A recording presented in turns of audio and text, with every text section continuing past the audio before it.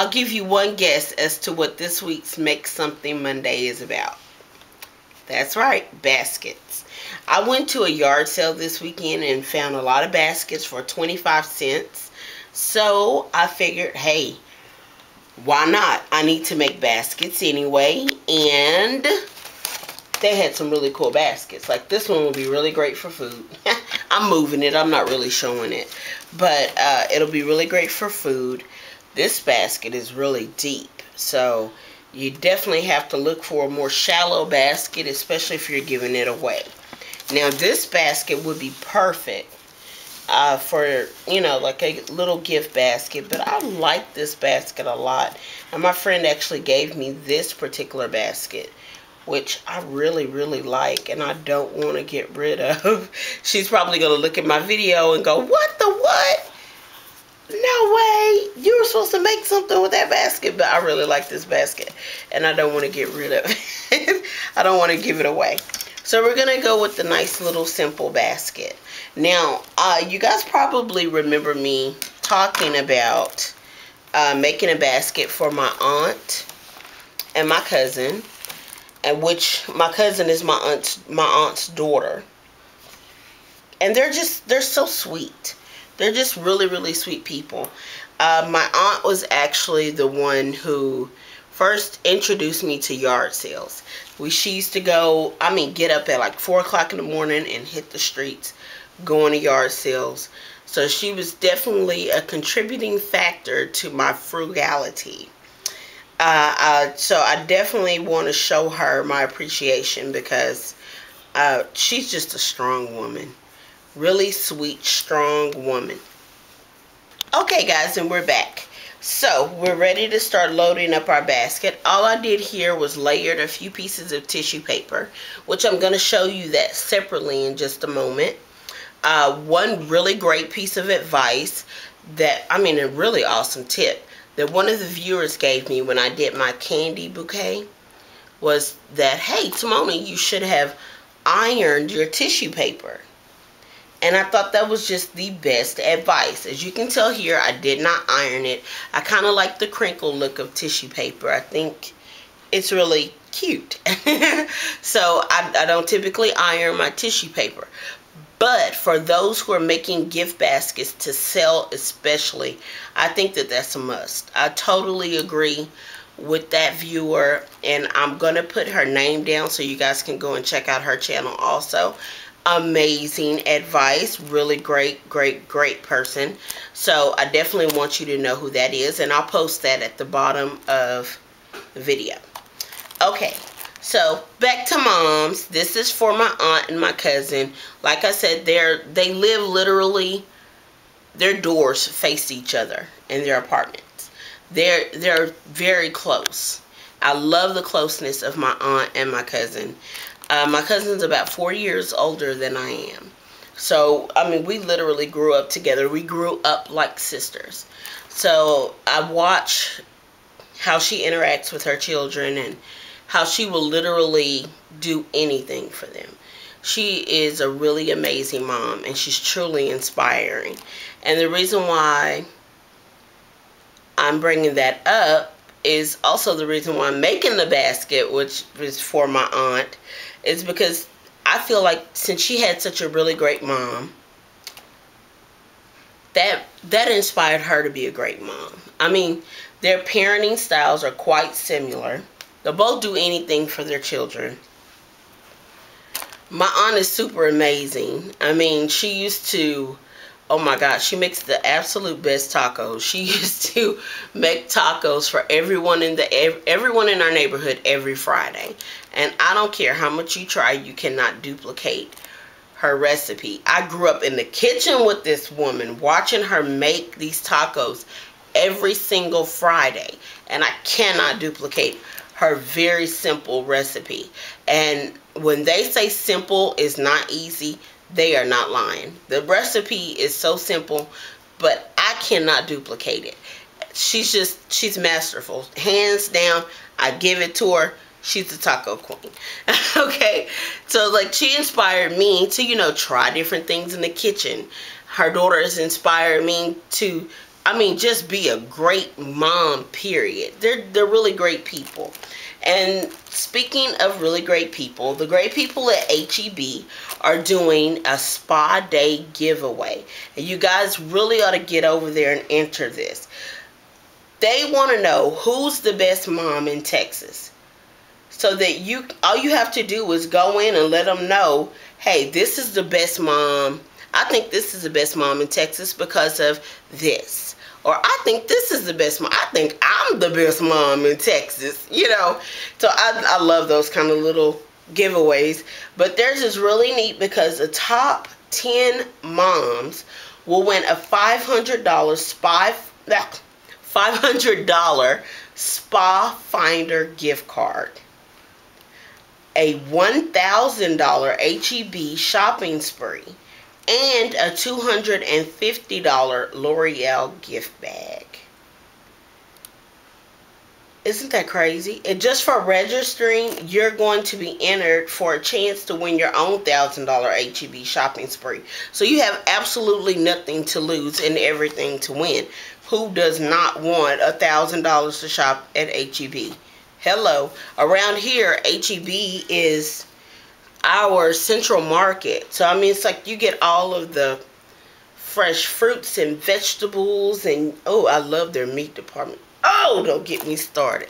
I love HEB stores. They are awesome. Not to mention the fact that they sell, they're the only place I think that sells the Dallas Cowboys bacon. And honey, that is the best bacon. They've got the bacon and the ham actually. So definitely jump on that giveaway. I'm also going to be doing a giveaway thanks to HEB for telling you guys and for hosting this giveaway. I'll be receiving a $30 HEB gift card. But all you have to do is come to my website, Tamona's Tips, and enter to win your own HEB gift card. It's really simple. I want to know who helped you become the wonderful mom that you are. Uh, it could be one person, it could be three people, it could be 50 people. Just tell me who that person is and at we're, we're going to pick a, we're going to use random.org and pick a random person to win a $30 HEB gift card also. So I cannot wait for you guys to enter that contest. But let's get back to the basket. Now I'm going to show you how I folded this tissue paper later. But now all I'm going to do is just layer everything inside. Now, some people, like I, have said before, I don't know if I've edited it out, but some people like to take and put in fillers. I don't care for fillers when I'm doing it, especially when I'm doing a personal gift basket because this is a gift for someone, you know, and I don't want them to end up with a whole bunch of trash in the bottom of the basket. So, I'm going to put in some Olay body wash, which I think she'll really like this. I mean, she loves body wash. Both of them actually love body wash. So this should be a no-brainer. And now I opened up those other gift sets. Didn't pay any attention, but this lotion is Vanilla Daisy. And my aunt loves Vanilla Fields perfume. She's got, she likes the Vanilla Fields. She actually got me on the Vanilla Fields. So I really, really like that. And, oh, sorry, I had to shake that lotion up. But uh, she's really, really, really a big fan of vanilla. So I want to make sure that I put in plenty of vanilla for her. And I don't just olay everything up. And I'm going to mix up this gift set. So I'll give her like some vanilla since she's a big fan of it. Vanilla lotion, a little vanilla body wash. And since this basket isn't just for her, I'll throw in some Plumeria body wash for my cousin, who's just a sweetie pie. I'm going to really hook them up with the vanilla, though. But I'm putting in all this stuff, and another thing that I normally would not mix the gift basket. Normally, but who says I'm normal, right?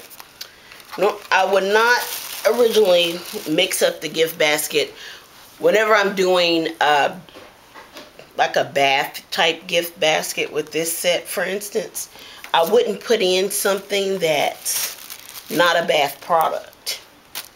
But my aunt loves my cookies. And I've, I've posted the, I've actually posted my recipe on those cookies before. But on my website. So if you guys want just the recipe for my cookies, and you can go on there. But she likes my chocolate chip especially. So I'm going to give her some chocolate chip cookies with pecans and some chocolate chip cookies that have almonds in them. And I think that my aunt would really, really, really enjoy this basket. But what I'm going to do, uh oh my basket runneth over. what I'm going to do, instead of doing a totally separate basket for the food, I'm going to just strategically set little cookie pockets all over the basket. Well, I don't know, because that basket's pretty full. So, I may just stop right here. I think that'll be a good idea. It's a nice weighted basket, and it's not even that many items. And they've come from my, my stockpile. I got this soap for free.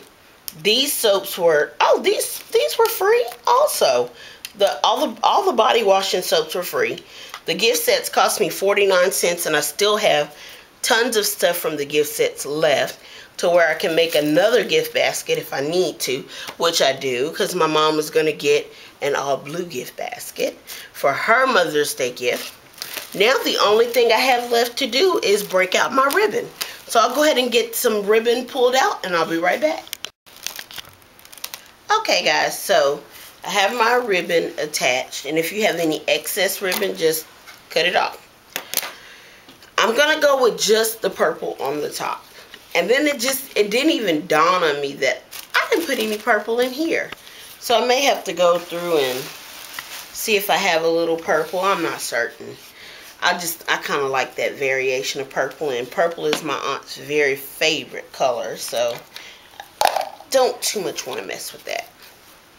Okay, so for the next step, we're just going to wrap a piece of ribbon around the basket. And I'm going to leave an open spot. Let's see here. I'm going to go ahead and, and I'm hot gluing it again. Ooh, and I'm making a mess. That's what I get for doing it upside down, right? Hope you guys can see this. My goodness. My goodness, my goodness. And that's easy to clean up, don't worry.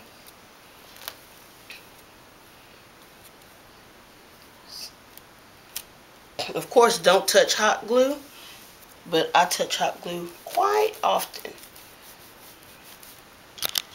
So I'm kind of used to it.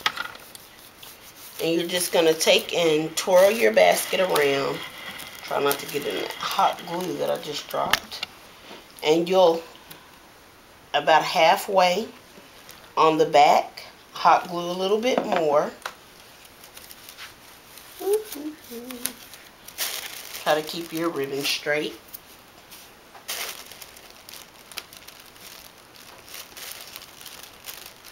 I know you guys have to be thinking, wow, that ribbon is not going to come around and make a bow. No, it is not. and it's not supposed to.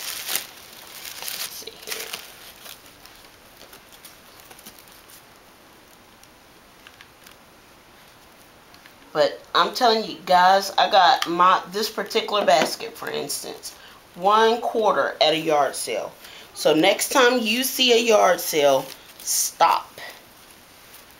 Because you don't want to miss out on good finds like this.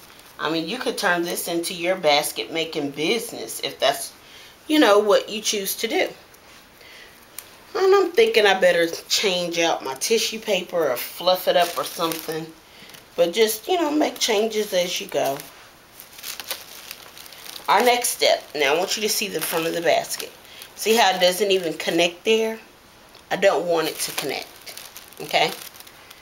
I'm going to clear off my space, get some of the hot glue I wasted up, and we're going to make a bow. Okay, guys, so now you see before you just simple pink and purple ribbon.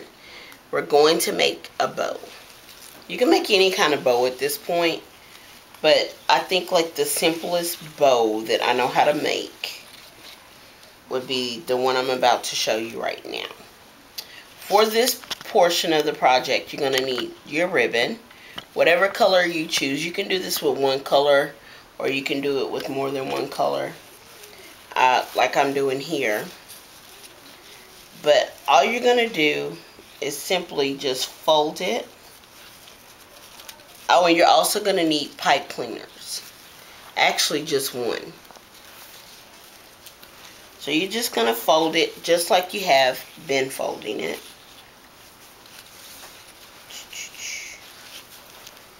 And I'm hoping I'm in the camera here. Okay. Uh, I don't know how much of this you guys have seen, but you're just doing a simple fold. That's it. Really, really simple. Nothing difficult whatsoever. Okay, so once you have it all folded, you'll take pipe cleaner and about midway through is where you're going to tie your pipe cleaner to make the center of your bow kind of go in just a little.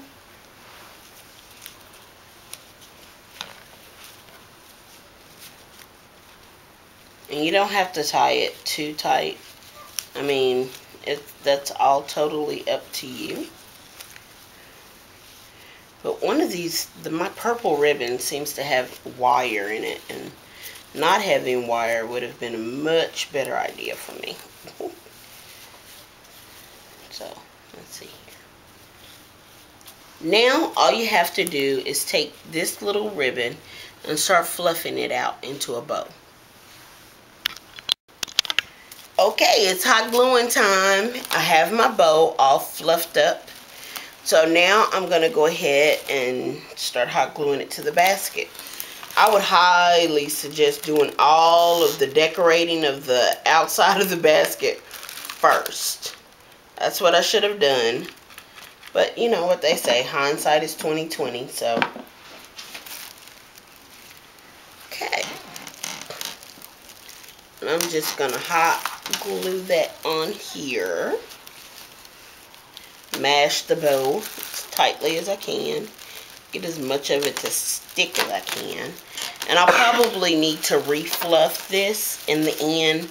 I'm going to tell you guys right now that you definitely will want to because you're going to be using a lot of all the pretty that you already made to make it stick. Okay. And I just don't have enough glue to hold this big old heavy bow